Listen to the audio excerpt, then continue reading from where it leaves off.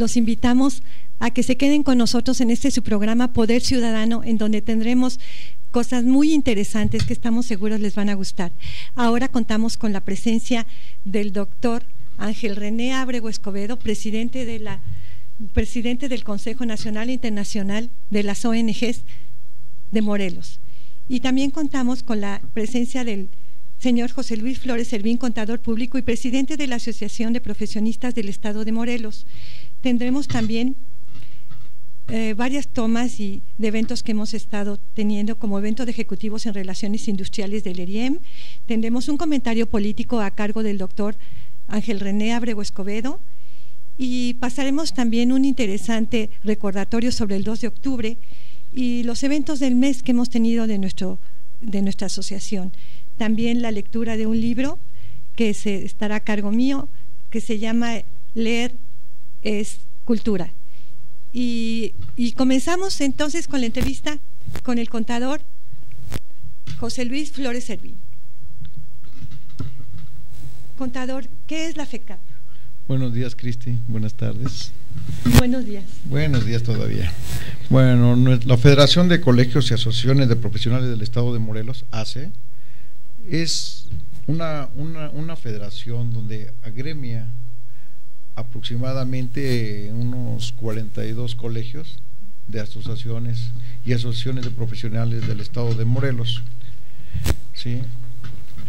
Es lo que nosotros tenemos como una federación. Estamos aquí en Cuernavaca, nuestro lugar de trabajo lo hacemos en un restaurante que ya lo tenemos de hace cerca de 20 años y estamos fomentando la profesionalización en el Estado. ¿Y cuántos colegios y asociaciones de profesionistas integra la FECAP? Pues aproximadamente unos 42. Unos 42 colegios y asociaciones de profesionistas del Estado, en donde se encuentran varios colegios como son el colegio de médicos, el colegio de abogados, barra de abogados, colegio de contadores, colegio de administradores, de enfermeras, de agrónomos y hay una diversidad de colegios y asociaciones en nuestro estado, que es donde fomentamos esta cultura del profesionalismo. ¿Cuándo se fundó la FECAP? Eh, fue en el año del 1992, tenemos ya veintitantos años trabajando para una sociedad profesional. ¿Y cuál es su función como presidente de la FECAP? Bueno, tengo en mis funciones es tener una profesionalización dentro de los colegios eh, y una participación de trabajo, sea tanto a nivel estatal, con los gobiernos estatales, municipales o federales, dependiendo del tipo de trabajo que sea. Ya sea, si estamos con un colegio de agrónomos, pues hay que apoyarlo para que ellos engrandezca ese profesionalismo y que puedan tener una apertura de trabajo y también de profesionalización. Hablo mucho de la profesionalización. Muchos son profesionistas, pero pocos son profesionales. Y aquí lo que estamos pidiendo que sean colegiados para fomentar el apoyo en una productividad que sea más eficaz para el Estado. Ay, pues, contador José Luis Flores Servín, muchas gracias por su presencia en nuestro, nuestro programa Poder Ciudadano y aquí tiene su casa cuando quiera visitarnos. Gracias, Cristi. Gracias por ese apoyo que me estás dando, muy amable. Gracias. Y continuamos. Continuamos ahora, queridos amigos, con un evento de ejecutivos en relaciones industriales del ERIEM que se llevó a cabo hace unos días.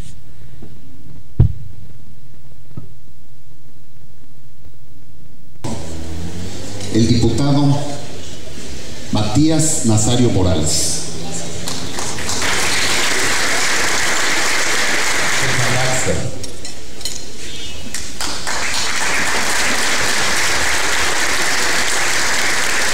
El David Fernández Álvarez, gerente de ingeniería, y el ingeniero y del arquitecto Alfonso Franco Desposorio, representante de BitLife México, y el presidente del Consejo Nacional e Internacional de las Organizaciones No Gubernamentales en el Estado de Morelos por Civil. Ángeles y de profesionistas en el estado de Morelos. México con valores. Y acompañarnos.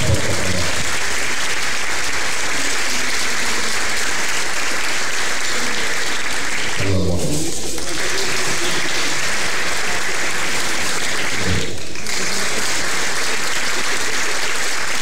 Ingeniero Ofelio Salgado Brito, gerente de manufactura de la presidente del sector de la construcción de Brasil y dentro de los invitados quisiera mencionar al ingeniero Carlos Mujica Vilés, consejero nacional de Canacintra.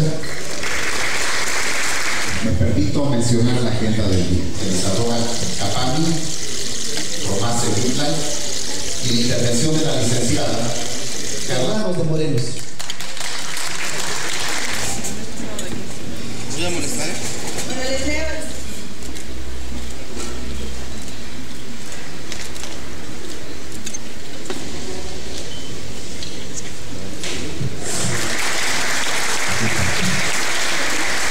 de los reconocimientos pido algo.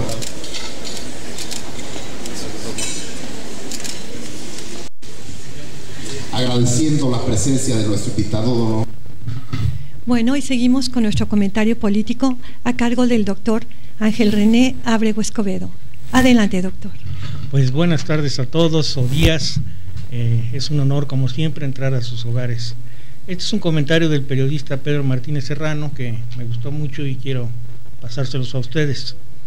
Solo alguien ciego y sordo no ve ni oye lo que ocurre en su alrededor, como tampoco un enloquecido reconoce su derrota, a pesar de que camina sobre los muertos y las ruinas de su territorio, como sucede en el estado de Morelos, que a pesar de encontrarse en primer lugar en extorsión, segundo en secuestro y cuarto en homicidio doloso, se nos sigue diciendo que gracias a que se actuó a tiempo en esta entidad, no hay crisis de inseguridad.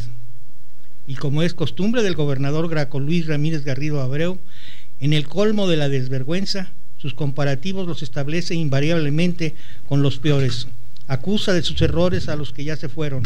Así ocurre con la crisis de inseguridad que golpea con rudeza a los 33 municipios del Estado, que para él no es tan grave Incluso llama a sentirnos satisfechos y orgullosos de ello, sin decir que hemos terminado con el problema.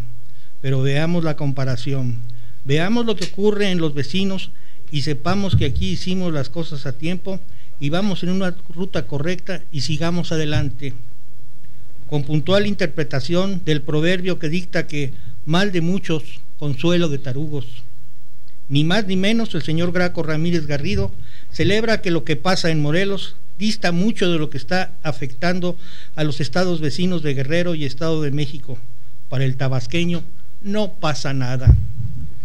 Resulta verdaderamente sorprendente que mientras el descontento social golpea las desvencijadas puertas del Palacio de Gobierno y la ingobernabilidad se adueña del Estado, el responsable político de lo que pasa o deja de pasar en nuestra entidad sigue extraviado y festejando la desgracia de miles de familias que hemos sido víctimas de la delincuencia en cualquiera de sus modalidades.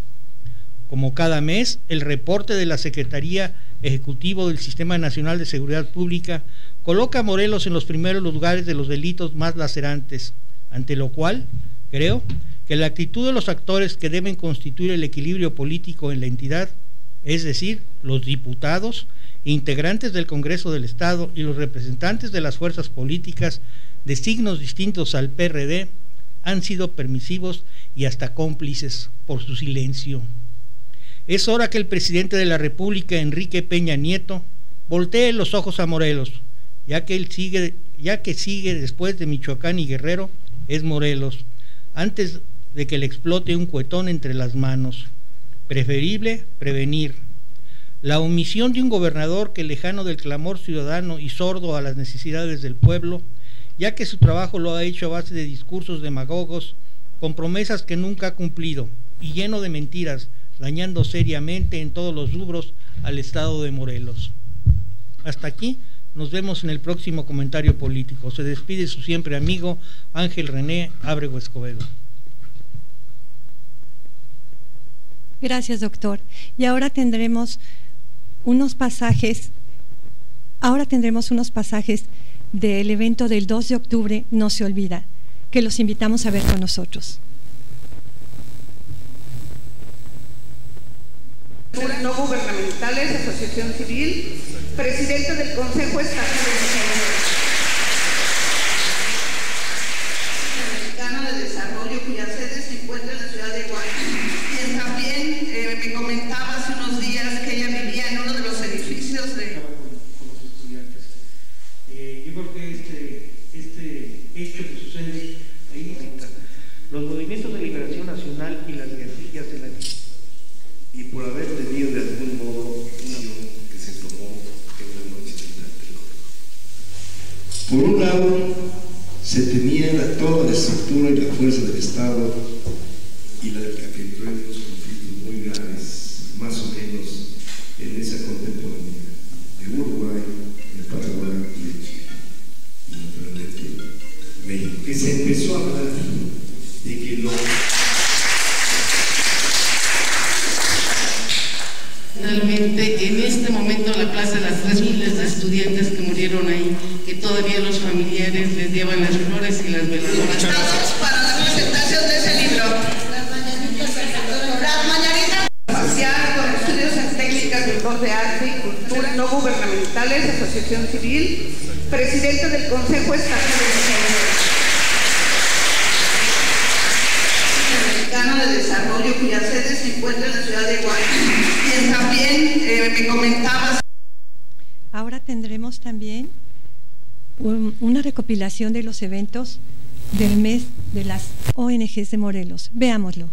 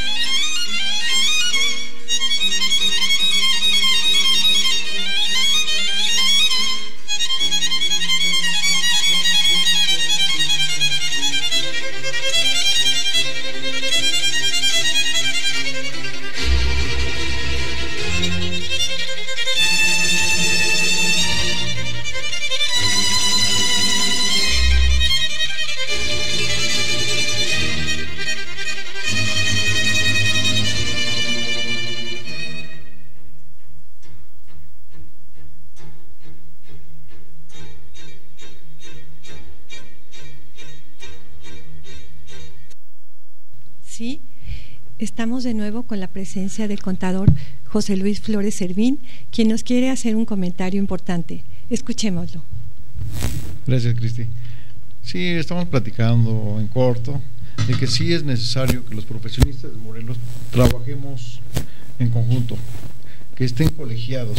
Es importante que estén colegiados porque nosotros damos seguimiento a su trabajo en cuestión de ética, de moral, y que realmente se estén implantando todo lo que es lo, profesional en el Estado.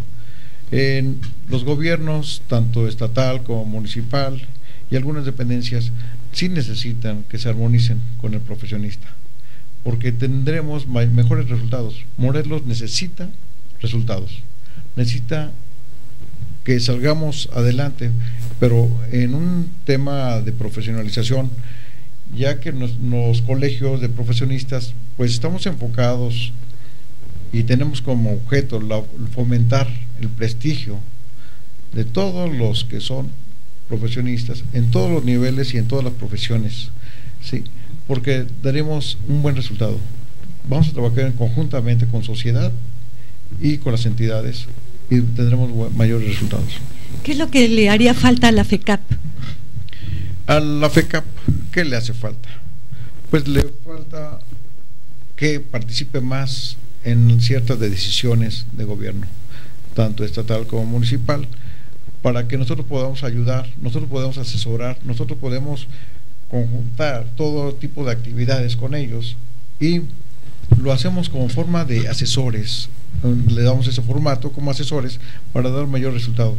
El gobierno quiere trabajar, pues vamos a apoyarlo a que trabaje. Tenemos que sacar adelante Morelos. No podemos dejarlo sumergido en todo, el área de problemas que está viviendo. Tenemos que verlo del lado positivo. Y profesionalizándose, vamos a ser mejores. Podemos rescatar a Morelos de lo que estamos viviendo.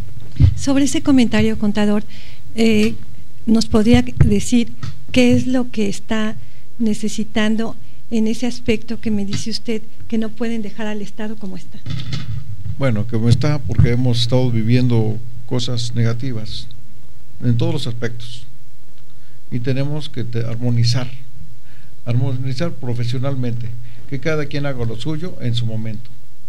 Si nosotros el requiere, o sea, de nosotros requiere nuestra ayuda, se lo vamos a dar con mucho gusto a quien nos lo solicite.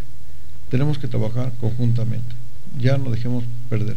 El estado de Morelos es tan pequeño que podemos ser tan grandes en muchos, en muchos recursos. Estamos de acuerdo.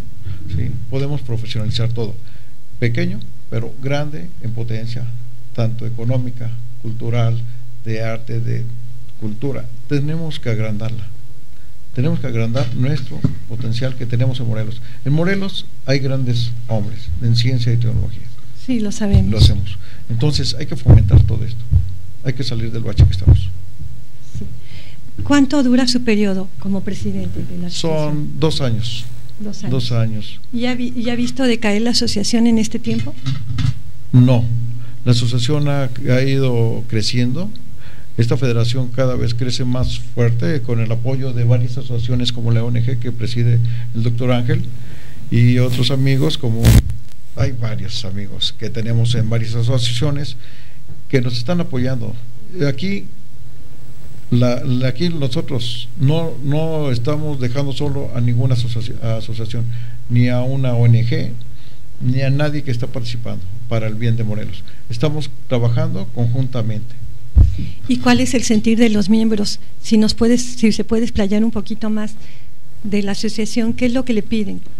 Bueno, lo que le piden a, a, esta federación es de que se fomente más la productividad profesional. Porque sí necesitamos que en Morelos sean colegiados todos los profesionistas. tenemos que saber cuántos somos los que estamos trabajando y quienes están en, no están trabajando, están inactivos. Y profesionalmente vamos a conocer a cada uno de ellos como colegios. ¿La inseguridad de qué forma ha afectado a su asociación de la FECAP? Bueno, no es directamente a la, federación, sino es a toda la entidad morelense, es a todos. A todos nos compete este problema. Unirnos todos por el bien de Morelos, ¿verdad? Claro. Ese estado tan grande y tan maravilloso donde vivimos y en el que creemos. Sí, así es. Ojalá sea así, le deseamos el mejor de los periodos y que se enaltezca de, nuevo esta asociación y que cuente usted con todo el apoyo que requiere. Gracias, sí, lo estoy recibiendo aquí con mi amigo el doctor Abrego y con varios amigos más que pues no quiero dejar a ninguno fuera, por eso no digo nombres, pero hay varias agrupaciones tanto de, empresarios como de profesionistas, que estamos trabajando conjuntamente para salir adelante en este, en este estado. Qué bueno, solamente así la unión hace la fuerza, como todos sabemos, ¿verdad? Claro, sí, estamos eh, eh, fortaleciendo en agrupaciones en pos de un crecimiento en Morelos. Muchas gracias, eh, contador José Luis Flores Servín, por su presencia. Y continuamos con una nueva sección que se llama leer escultura, donde les quiero recomendar un libro que seguramente ustedes ya conocen del escritor Jorge Bucay. Este libro que tenemos aquí se llama El Camino de la Felicidad. Este es uno de los libros del escritor argentino, que como sabemos estuvo hace cinco días en la ciudad de Cuernavaca. Estuvo en la ciudad de Cuernavaca y donde nos brindó una conferencia y sabemos que él tiene más de 32 libros escritos. Él nació en Argentina, en la ciudad de Floresta, y él nos platicaba de la importancia que han tenido, son libros de autoayuda y la importancia que ha tenido el crecimiento personal para todos y cada uno de nosotros. Él tiene varios libros de los que he escrito y entre ellos cuenta conmigo. Él comenzó las hojas de ruta con el camino de la espiritualidad, el, el encuentro de las lágrimas, el camino de la felicidad y el camino del encuentro. Tiene también escritos cartas para Claudia y cuentos para pensar. Y que sea el camino de la felicidad, según sus palabras, quizás sea el camino más difícil para nosotros los seres humanos, porque es un camino complejo. Mencionó que vivimos en una época muy difícil, donde nos está rebasando la comunicación, donde nos está rebasando todos los medios, nos está rebasando toda la información que hay en todos los medios de comunicación, especialmente en el Internet, donde él nos habla de que hay información de todos los órdenes y en todos los rangos las 24 horas, y que cuando uno pierde esa paz interior, cuando uno se cambia el ser por el hacer, empieza uno a confundirse y empieza uno a perderse a sí mismo, porque nuestra vida es ser, hacer y tener, pero en primer lugar el ser, que es el encuentro con uno mismo y que es el encuentro de la felicidad, esa paz interior que nos va llevando a saber quiénes somos y por dónde debemos de conducirnos. Menciona el autor argentino que también es importante que ser responsable de nuestra felicidad y no culpar a nadie por no ser felices, porque muchas veces el estado de victimez, de echar la culpa en el pasado a los padres o al esposo o a los hermanos o a los amigos, nos puede causar interiormente un sentido y un, un malestar que nos va bloqueando todo el camino de la vida y nos va llenando de obstáculos para lograr nuestras metas. Él dice que asignar culpas es un estado de lamentación que nos lleva más bien a tener sentimientos de, de impotencia y la impotencia no nos ayuda en nada en la vida. Por el contrario, necesitamos caminar con nosotros mismos, ser amigos de nosotros mismos.